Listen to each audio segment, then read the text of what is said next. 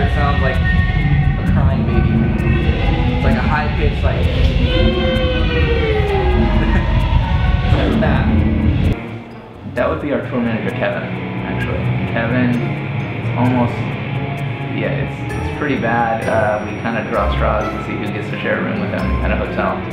Um, Tony started snoring a little bit here and there, so, but I don't know. I can sleep through whatever, so it doesn't really bother me.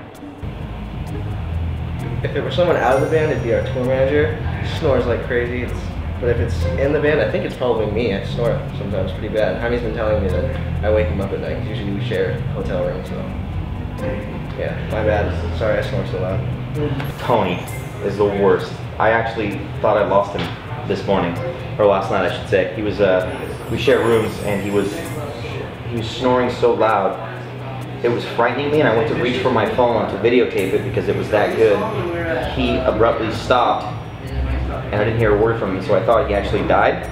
I thought he just, so I was like, was watching him and then he kicked back in again. So I don't know if that's like a normal thing that people do, but our guitar player Tony literally died for like 15 seconds last night. Any of us are really professional at our job. We just kind of uh, go up there and pretend to look like we know what we're doing. You know what I mean? Jaime. At least professional. Let's go Tone. Tony, just because I think a lot of the times he, uh, if, if, even though he might not seem like it, he, it almost feels like he wants to be somewhere else. And uh, that may be the case. Or he might just be tired. Or he might just be uh, lonely, might need a hug. Um, you know, maybe, you know, had a bad day. You never know. I he's just a goofball, man. He's always crazy. Vic's, Vic's probably the least professional. Definitely Jaime. I think he spends more time figuring out what he's gonna wear before the show than actually focus, focusing on like his instrument and playing. So that's true, by the way. he's gonna kill me for this. You hear Jaime complaining right now? That was it. Jaime takes a kick for that too. Usually food. Usually if, if he hasn't eaten, he'll get pretty grumpy. Um, if he doesn't have dry shampoo and the night is over, he won't go on stage. I don't even know. They probably said me, huh? I, I probably assume me, but I don't even complain at all. You guys are so.